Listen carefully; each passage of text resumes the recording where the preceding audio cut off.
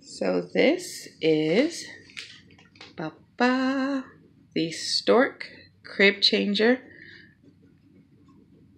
There we go. Now it's in focus. This is a Stork Crib Changer. I'm just kind of making this quick little video. This is what it looks like before.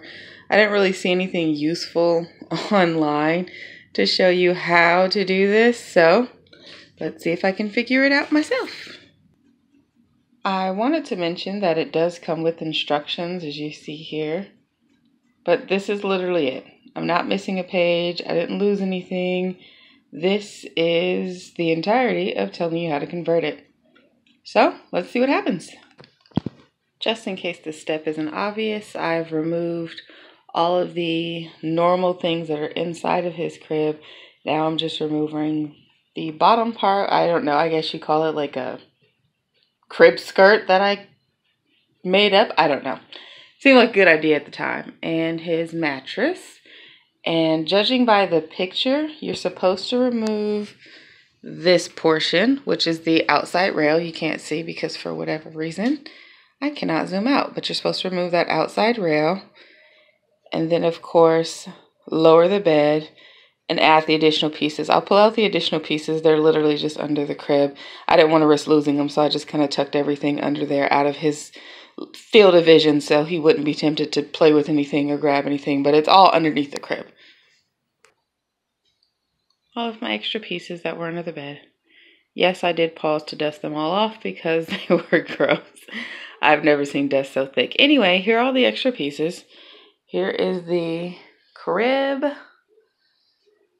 And now to get to work. So the first thing I'm going to do, because I'm not going to be able to film this, this is on my phone, is all those little pieces right here that attach the bed, or the mattress part, I should say. I'm going to remove all of those first, just to clear that out of the way, so I can hopefully gauge what I'm doing easier. Because as I mentioned before, this is the entirety of the instructions for converting your crib into a toddler bed. So you're supposed to be able to use this in three steps to go from this. Oh, yes, I did film the whole thing. To this. I'm not mechanically inclined, so maybe that's my problem, but just in case you're part of that group, hopefully this helps. So success. Took me way longer than it should have. Also note, this is easier with two people. But if you're determined like I am to see if you can get it done with one, press on. Totally forgot to record. So then you have to remove these screws, which hold this part on. And then there's one more down here. And they're really long. So if you feel like you're unscrewing for days, probably are.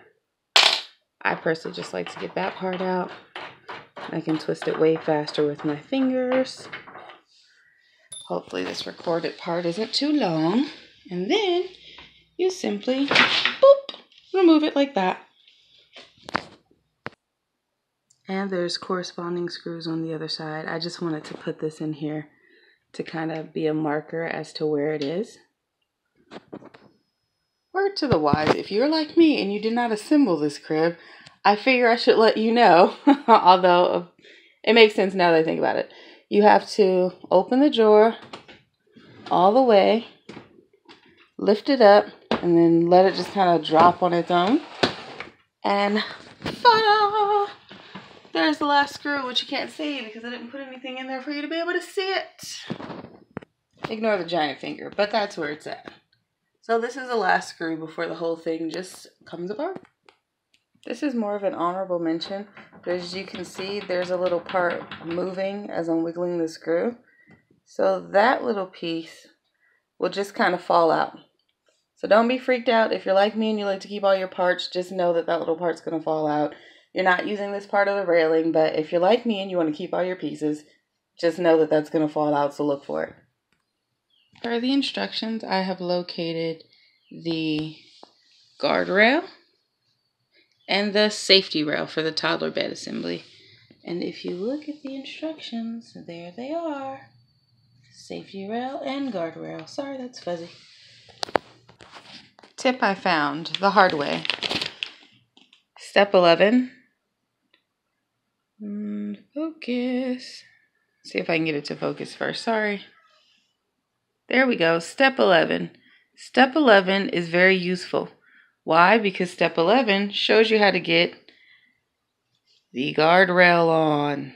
So, if you're like me and you did not realize that, don't just immediately turn to the 12th step for the toddler bed, which makes way more sense because, well, I'm personally going to put him in that toddler bed before I put them in a day bed. However, I sort of understand why they did this. It's way easier to see this by itself and this by itself rather than making it all one. So it is a lot easier to just give you three simple steps. So I get it, but it's slightly annoying. So the same bolts that you took to remove the railing in the first place. So you see how it is now empty. So the same bolts that you removed with that, make sure you keep them because you're going to need all of these in order to put your guardrail on. And you're also going to need this, which I'm not going to pretend to remember the name of, but you need this, those little pieces that I told you kind of fall out. Those are important. Definitely don't lose those because you're going to need those in just a short while. I would also like to add that I will be reattaching the mattress part. I don't know what it's technically called, but these I will be reattaching now because per the instructions for the daybed portion, it does have a note that says before converting crib to daybed, make sure the mattress base is in the lowest position. Also, if you're like me, you notice that shore is missing the E. Anyway, just a little nerdy wording for you. They're once again assembled. And I would actually say that so far, despite the instructions, the most annoying part is just getting this platform screwed back in. It wasn't hard. I did it by myself. I didn't have to ask for any help, but it was annoying. So I'm getting really close in on this particular part. So those little pieces, you have to make sure are lined up correctly so you can get your screw in all the way because that's going to help secure it. I'm not going to keep screwing because I'm just going to have to unscrew it so I can actually do it on the bed. But I just wanted to get a close up that this is what I will be putting into the bed, which those little holes, there we go. Now it's focused. Those two little holes underneath are what you're going to be screwing this into. So like I said, I just wanted a close-up of this so you can see those are to help you thread it through properly and to have something to grab onto.